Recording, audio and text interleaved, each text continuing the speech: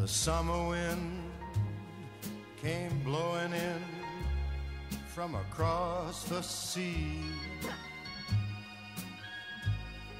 It lingered there to touch your